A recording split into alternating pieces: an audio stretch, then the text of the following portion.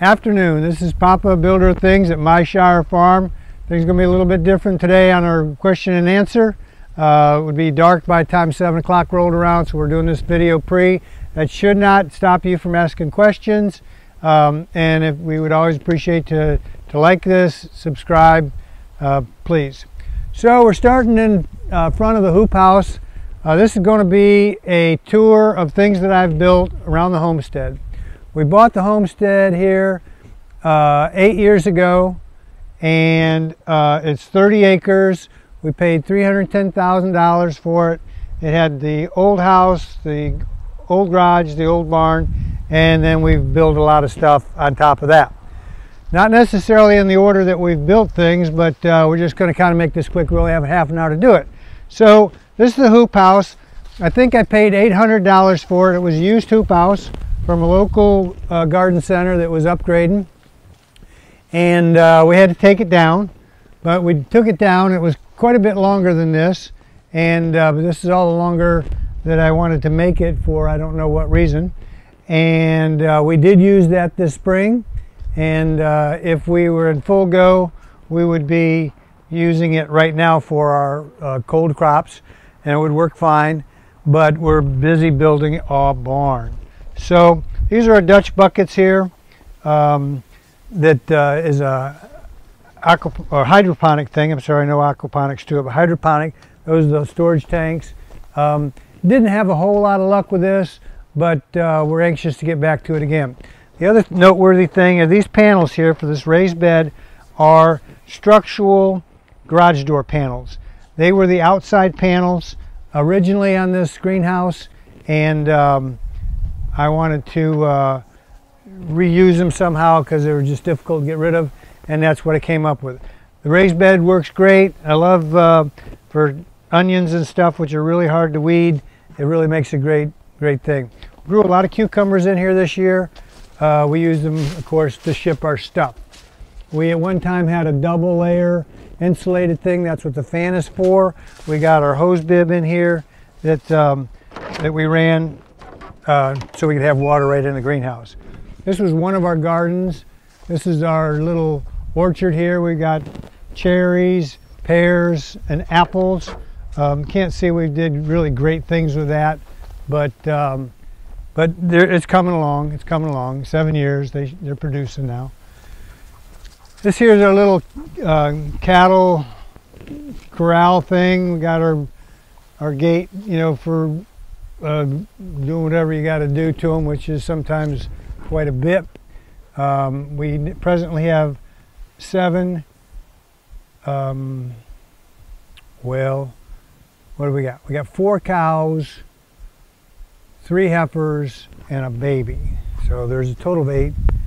And uh, here we have our float, another hose bib, lots of hose bibs. Um, here we have a uh, solar hot water heater that I made. I started off with just a little bitty sample thing, came back and it was near boil. I said, okay, that's great. And I made one and it was okay, but by the time the water would get hot and then it would go cold and it would hot, hot and cold. So but with the four of them going, it's continuously hot water that goes into our storage tanks and the greenhouse. Um, the water tower here is we're just kind of going. This is something I made. Uh, it's all out of pressure treated wood and the, the, top was kind of a fun little project to make. Uh, this little train trestle thing was kind of fun to make. But I do want to mention that I put, I dug post hole dig and put um, 4x4s down in the ground and then leveled them off and then set this on top of that so that uh, all this weight, this bear, which is a lot of weight, is not just on surface ground, it's actually the three foot down. So that was my solution to a foundation for this rascal. Pressure treated, made up these straps, and then got zinc oxide fluid because it has a little bit of galvanized on it, and then ended up with pneumonia, practically died, had to go to the hospital middle of the night. Um, but everybody said, well, it's pressure treated, it don't look like it hold water. Probably wouldn't, but it has a vinyl liner in there a vinyl roofing liner. So it's the same roofing that you would use uh, or same stuff you'd use on a roof, but this particular stuff you seal it with hot. So it could be a hot hot air gun, it could be a hot rod, it can be you know, an iron, and so I fabricated up a liner for this out of that, and that's what keeps the water in and clean. Course, the gutter's feeding it. Um, and then we do have solar on, on, our, on the big house, and that is now tied to the grid. It was originally tied to a, a battery bank, uh, but then we got more, too much for the battery bank, and so now it's just tied into the grid. That's what's left of our garden there with our um, tomatoes. It, a lot went to waste. My wife got sick this year, and so we weren't able to do uh, everything we wanted to do with tomatoes. This greenhouse was something that I also made. Um, we can kind of poke our head in here in a second. I did want to show you this guy here. And this, the whole heating system for this got pretty complicated. That being part of it, this being part of it. This is my little um, turkey fryer heater that I made. We got a turkey fryer in here. This is just, a, you know, the thing you'd use when you got your hot oil turkey thing. And then I made a heat exchanger, if Zach can get in there, out of copper tubing that goes into the bottom, comes out at the top. And then if you'll notice, we got a three inch and then probably a six inch and then an eight inch um, going. These are just fittings that you can buy, probably bought it one of the big boxes. And to coil this copper tubing up, I'll share a little secret there. I when I when I bought the material, uh, I sealed up both ends, or maybe it came with a rubber, filled it full of water, put it in the freezer, and then you're you're wrapping this thing up frozen so it doesn't kink.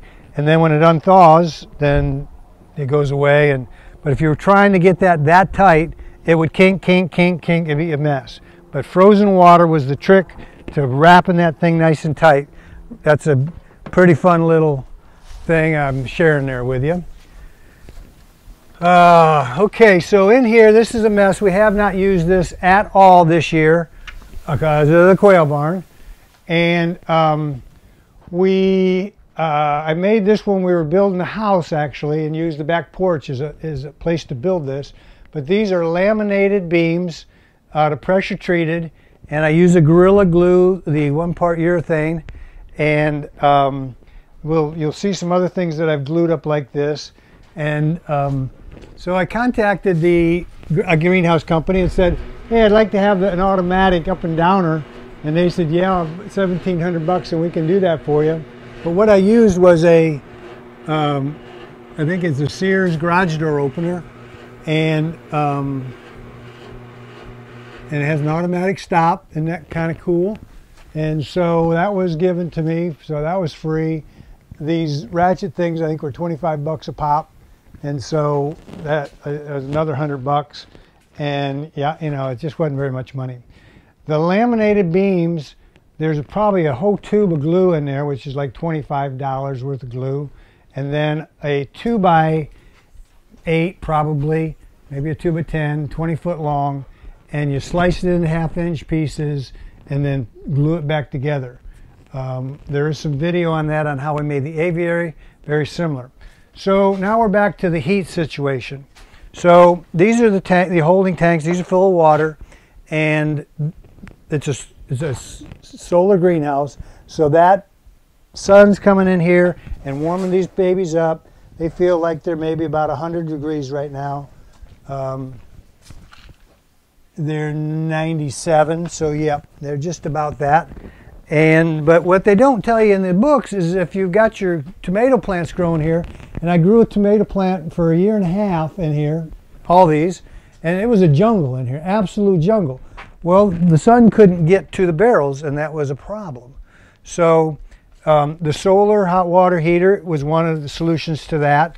That turkey fryer hot water heater was another solution to that. And we're going to get off of that for a second. So this is my little light box. I've made it out of this stuff here and this double-sided foam. And they have the silver tape that you can make up.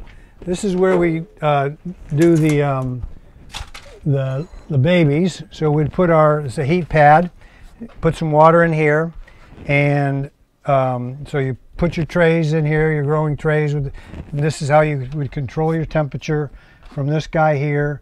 We've got a, a grow light over there. We've got house lights.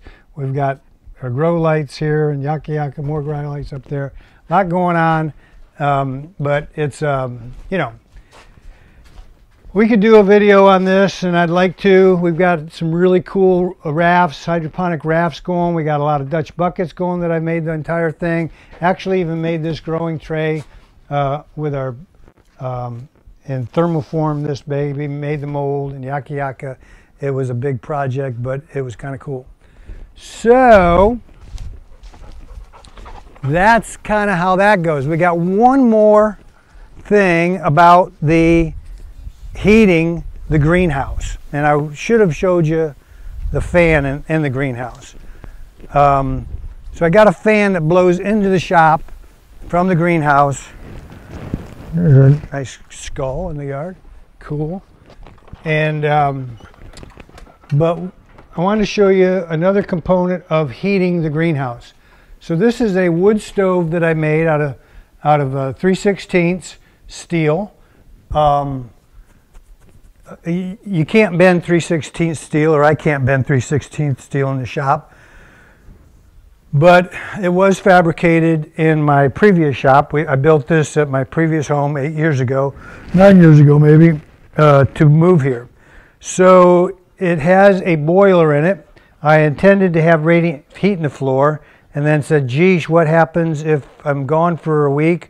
It'll take a week to warm the floor up um, so I said, I better put this heatilator in.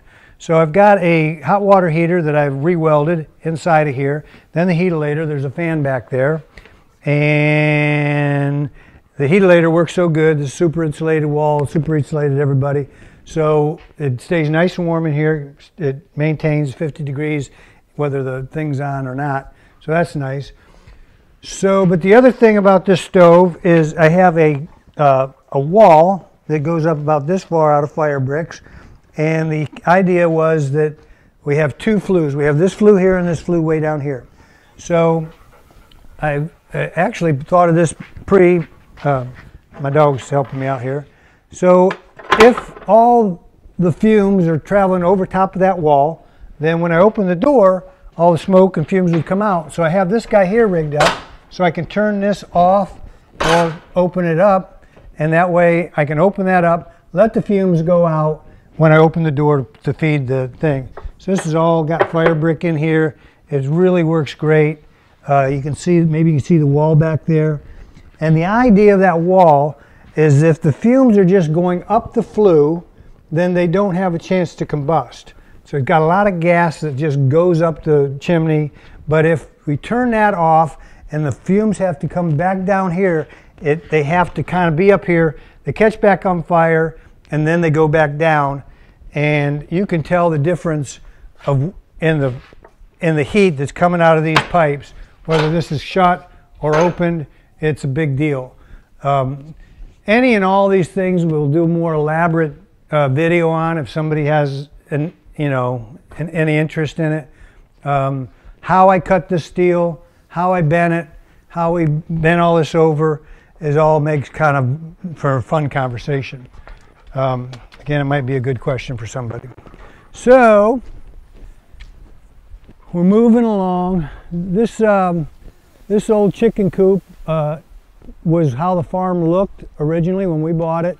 It all looked red and old and like that. And there, someday we may move that. It's been pigeons and and rabbits and homing pigeons and God knows what all in there. But it's kind of fun little building. That, that cage on the back was for homing pigeons to come in and out. Uh, was hoping the girls would, would get into that a little more, but they did not. Thought that'd be a really cool business for them to do homing pigeons for, you know, they were white homing pigeons for weddings and funerals and whatnot, but, but uh, they thought that they didn't want to do that. This um, aerator out here, the fountain in the uh, in the pond is fairly new, maybe a couple months old, and um, there's YouTubes on how to do that with a um, sub pump, but they used a lathe to make the sprayer thing. I've got a lathe, could have used a lathe, but I wanted to make it so anybody can make it that didn't have a lathe. And I figured out how to do that. It would make a really cool video, but I, I, I don't normally like making videos about, I don't normally like the videos of people that are just building something. They don't know if it's going to work. And they, you know, they're showing it like, you know, oh man, I'm building this thing. And they don't mention they don't know if it's going to work. And I'd like for them to come back and say, you know, a year from now, as if it's still working. But they don't do that, of course. So I always like to build something first, make sure it's going to work, and then if there's an interest, we'll do a video on it. But it's so far so good. And um, uh, the, the, pond people that came to help us with the pond, they said the one the bubbler that I had was really not helping because it was bringing up gunk from the bottom, and so they recommended that I change it to that kind of an aerator or something along those lines. So here's a clubhouse that we built for the kids some years ago. Um, as they get older, they keep remodeling and doing different things in there, but it's been kind of fun. Got a little um, sand thing at the bottom that we had to protect from animals getting in there and pooping in there. So, but this is our aviary. Um, we presently have some peacocks in there that I, I guess I do see some. And um, we've got, I don't know, nine or 10 peacocks. Uh, these, all this bent wood, this bent wood, all that bent wood is uh, similar to what I did with the, um, the other greenhouse. This could make a great greenhouse, it could make a great garage, it'd make a great anything. Uh, there's a YouTube on it, a guy in Florida kind of perfected this. Says it can hold up to 200 mile an hour wind. Don't know. Um, don't really care. It had a had some trees over here that fell down on it. Took out half of the thing. Had to rebuild it. Not. It was more fun to build the first time. Um, but it, it pretty cool. I don't know if you can see some peacocks in there. Uh, not really, but they're back underneath that little shelter. Come on, peacocks. Come out and stretch your stuff. These are babies. We hatched them this year from eggs that a neighbor had given us and um, uh, hope to have peacocks next year. There is a door that's framed inside the, the, the new barn and that will go in here and maybe we'll put some males in here, scare them around so they can be ready for flight. How's our time doing? Good. Okay, good. So um, so of course this is the new barn. We did order our solar panels uh, hopefully this week or last week, Sunday being. Uh, and maybe we'll get them as soon as next week. But the intention is, is to go all the way across two panels high on the top of that Rasco um, to help with that load. Um, certainly a good question on that. I'm not an expert, got a buddy that is. He owns um, Star City Solar here in Miamisburg. And uh, if you're in the area, he'd love to talk to you more about that. So now we've entered into the Shire. And um, as we talked about once before, it's from the Lord of the Rings, the Shire that the hobbits live in. But this is my Shire. And so that's what we call it, my Shire Farm and this is a um, uh, our root cellar. It is made out of one of those tanks there, uh, quite a bit longer I might add. We could stick our head in there if you would like. And um, I'm going to make another hobbit house for the pigs out of that one. It will go back here in the pig pen. That's our um, smokehouse there. But we can poke our heads in here. I don't know how much we can see. Um, we won't be using that this this year. Um, and this is some of the Corian that we'll show you that I bought for $75. I bought two sheets. We've used up one. And um, this was $225 delivered. Got about a six inch thick door here, some cool hardware that we've made here at the shop. And uh, yeah, so uh, we didn't have enough potatoes this year to warrant putting them in there. But it has worked great, and we've actually planted potatoes that we've kept over because in time they do get you know pretty pretty rooty. And um, so this is um, this is a, a, barn that we've had to rebuild. It burnt down. The other one was far cooler uh, super far cooler but I just couldn't rebuild it um, anyhow got a little shire look going on this is um, our our um, butcher shop and uh, we haven't used that. Guess we have used that. We butchered a bunch of bunch of um, chickens this year, but uh, it was all put had a bunch of storage stuff for the new barn in here, and so we really haven't got to clean it out since we've moved all that building material over. But we've got our our lifts here. We've got two lifts here. This one here actually is solar powered. This one here is electrical powered and um, you got our up and down business here. All of these um, brackets and stuff here are made here at the shop. Uh, this is stainless steel and bent up here at the shop and welded in the shop. Some of my not such great welding, but I'm pretty proud of that though.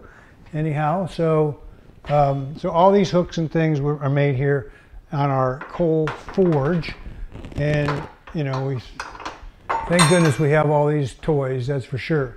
When the place burnt down, the only thing that survived it was these hinges that I had made, this thing here, and another wood stove. This is our cooler, and it has uh, got insulated panels, uh, styrofoam, six inch styrofoam panels that I traded for some labor at a local pub. They upgraded their exterior walls and I did it for the ability to get all these walls. So the whole butcher shop is made out of these big insulated panels. This is a regular house air conditioner, but it has what you call that black box there is called a CoolBot. And the CoolBot tricks that into doing more. It won't go to freeze, but it'll go to 37-ish, easy enough. And um, that's all you need to hang your meat in here. You see we got our track here that rolls them in and so we can, um, I forget what that's called when you bring your cow in here for 10 days or so. But, um, but yeah, so we're, most all of our protein we, we do right here. So we got our poultry, our pork, and our cows are all butchered here. Last we could show you in there are uh, cider presses and things like that. This is another stove that I made. Um, all these crisp lines that you're seeing on both stoves are performed with a circular saw, a metal cutting circular saw. And with a straight edge, you can cut up to a half inch, or 3 eighths I'm going to say, without any concern. But quarter inch, 3 sixteenths, what this is made out of, you can cut it just like you're cutting wood, but it's cutting metal. So with a straight edge and a little forethought, you can make some, you know, really nice lines and uh, it's just wonderful. So this is a cooktop stove underneath all this stuff that was stored in here. And then we have our canning stainless steel. Over there is our maple syrup stainless steel thing. This lid comes off, those go on. And uh, if we're doing, when we're doing our tomato sauces and stuff, we fill that right up with tomato sauce. We put them all in the jars, clean that out, put water in there, and we can hot bath, I don't know, 40 some quarts at a time. Really nice. And then, of course, you made a big mess, and you just spray it down the drain. And there's Lightning. Hey, Lightning. Hey, buddy. We got four, four dogs now on the farm three more and we just about have it right. So we got more peacocks in here. We'll see if one's standing up there usually is. Nope. if we can see any in here or not. Probably not. I got the window closed now. All right. so but that'll be next year's big hoo-ha. We'll have some beautiful peacocks running around. So when we say we build a barn, we really did build the barn. We made these doors are made here at the shop. That hardware is made here at the shop. This door is made at the shop. Hardware, even the garage door was made at the shop. It's made with the same kind of paneling as this is. Is kind of a T111 design. Only this is a tongue and groove design. So you can see the sections here. And it's fully insulated with styrofoam. And uh, this is the second garage door that I've made here on the farm. But mostly I just want everything to match. Uh, you can see that that one's been up a long time and that's why it's so dirty. It hasn't got washed off yet. I bought some weather stripping this morning for the door. And so we'll be able to get the weather stripping on there. It got a groove in there. This is all pressure treated material and that I made the jambs out of. This little guy here is for our sanitation thing. We can put our, our bug killer on the floor and we walk through it in and out. And that's kind of a big deal. Uh, this will be our shipping area. We've showed you this before. Um, We've put vinyl flooring on the wall. We use the same glue that you use for this FRP, fiberglass reinforced plastic, uh, and then rolled it out nice and tight. And we will let you know. We're done? Oh, we, oh we're done because we, we're going to do this afterwards. Um, so thank you for watching all this stuff. Hope I didn't mumble too much. And uh, we'll be showing you the inside. Oh, we didn't do the outside thing, but that's okay. And um, this is Papa. And we'll be talking to you Right now. right now.